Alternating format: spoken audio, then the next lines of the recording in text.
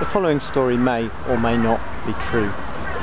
Just had the most secure cup of coffee of my life um, over the river there um, in an expensive little cafe somewhere in Sarajevo. Um, turned up at the cafe and I was um, noticing three guys with earpieces lounging around and I said that's not normal. I know that every security guard is entitled to time off but it didn't look like they were doing time off.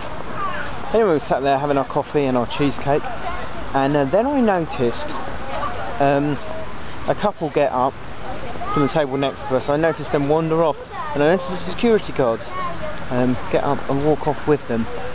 And yes, they got into a big black Cadillac and drove off, followed by a big black Explorer or Escalade or something um, with flashing lights on it and running diplomatic plates. And so, putting two and two together, we were next to somebody um, from the American Embassy, I guess. But they probably didn't want me to tell you that, so uh, I'll go now. Thanks for watching.